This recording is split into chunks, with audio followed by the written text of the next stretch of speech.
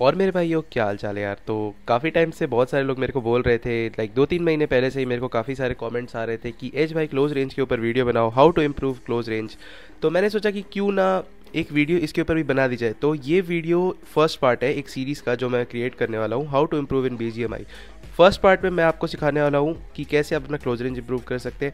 Second part में आपको सिखाऊँगा कि कैसे आप कंट्रोल्स एंड सेंसिटिविटी को मास्टर कर सकते हैं या फिर क्रिएट कर सकते हैं। और थर्ड पार्ट जो कि सबसे ज़्यादा ज़रूरी होने वाला है how to handle one V four situations. तो बिना टाइम बर्बाद किए यार सीधा चलो वीडियो स्टार्ट करते हैं।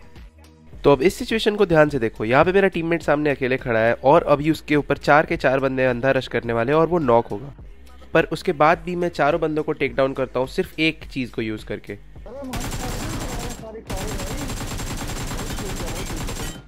जल्दी चलिए जल्दी जल्दी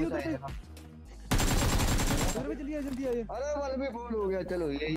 तो यहाँ पे अगर आप लोग सोच रहे हैं कि मैंने प्री फायर का यूज़ करा तो आप लोग सही सोच रहे हैं। तो सबसे बड़ी चीज़ यही होती है किसी भी क्लोज रेंज सिचुएशन में प्री फायर क्योंकि जो एनिमीज होते हैं क्लासिक मैचेस में मोस्टली वो कभी भी प्री फायर एक्सपेक्ट नहीं करते हैं।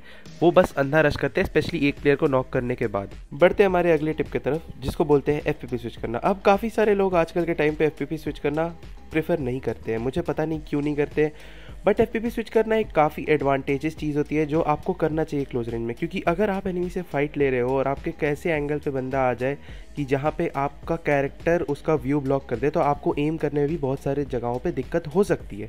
और उस वजह से आप अपना ईजी सा क्लच या फिर ईजी सी फाइट हक सकते हो। फॉर एग्ज़ाम्पल ये सिचुएशन देखो।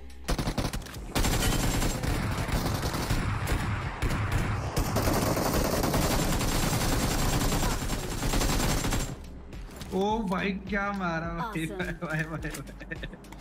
तो इस सिचुएशन में तुम लोगों ने नोटिस किया होगा कि मैंने नीचे जंप करने से पहले ही एक बार एफ़ पी स्विच कर लिया ताकि मेरे को जंप करते समय भी एडवांटेज मिल सके और मैं आराम से दूसरे वाली खिड़की पे जा सकूँ। प्लस मैं जैसी खिड़की से अंदर जाऊँ मेरा व्यू ब्लॉक ना हो। और ये एक सिचुएशन को भी ध्यान से देखना ज़रा। या मेरा टीममेट नॉक होता है और तभी। इस सिचुएशन में अगर मैं एफपीपी ना भी स्विच करता तो मैं इस बंदे को इजीली टेक डाउन कर सकता था, लेकिन मेरे को प्रिसाइस एम चाहिए था तो मैंने एफपीपी स्विच करा। और एक बार इस सिचुएशन को भी देख लेना यार। तो इस सिचुएशन में अगर मैंने रूम में घुसने से पहले एफपीपी स्विच ना किया होता तो हो सकता था ये बंदा मेरे को प्रॉब्ली आराम से मार लेता। लेकिन मैंने एफपीपी स्विच करा ताकि मेरा करेक्टर व्यू ना ब्लॉक कर पाए। सेकेंड बंदे को भी मारने से पहले मैंने एफपीपी इसलिए स्विच करा था ताकि मैं जैसे ही घर से बाहर निकलूँ मेरे को प्रॉपर बाहर के एरिया का व्यू मिल पाए और मैं आराम से बंदे को स्पॉट करके किल चुरा सकूँ। तो अब बढ़ते एक और इंपॉर्टेंट टिप की तरफ़ जो कि है मूवमेंट मूवमेंट एक इकलौती ऐसी चीज़ है जो आपको शॉटगन के अगेंस्ट भी बचा सकती है अगर आपने उसे मास्टर कर रखा है तो। जैसे इस सिचुएशन में देखना मेरा एक टीम मेट नॉकड है और मेरे पे तीन बंदे पुश कर रहे हैं।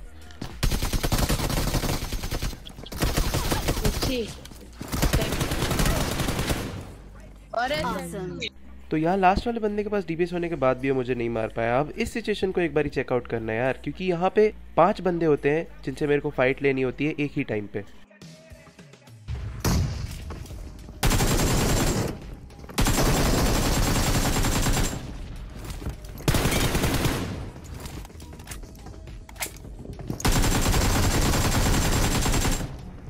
तो इन पाँच बंदों में से चार बंदे तो मुझे गोलियाँ टच भी नहीं करा पाए, पर लास्ट वाले ने वन एच कर दिया, क्योंकि वहाँ पे मैंने अपना मूवमेंट थोड़ा सा चोक कर दिया था। और मूवमेंट और भी ज़्यादा इंपॉर्टेंट होती है, काफ़ी सारी सिचुएशन पे आपको हेल्प कर सकती है, अगर आप पे हेल्थ नहीं है, तब भी। एक बार इस सिचुएशन को चेक करो।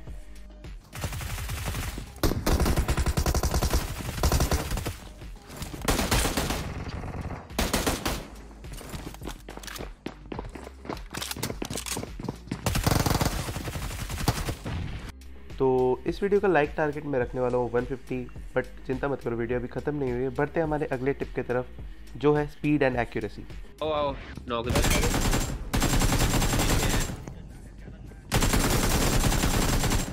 तो स्पीड और एक्यूरेसी सिर्फ़ दिखाने से या फिर बताने से तो आपकी बढ़ेगी नहीं तो कुछ ड्रिल्स आपको ज़रूर करने पड़ेंगे उसके लिए। तो मुझे अपने इंस्टा पे एक मेरा पुराना गेम प्ले मिला मतलब ट्रेनिंग ग्राउंड का। एक बार वो देखो।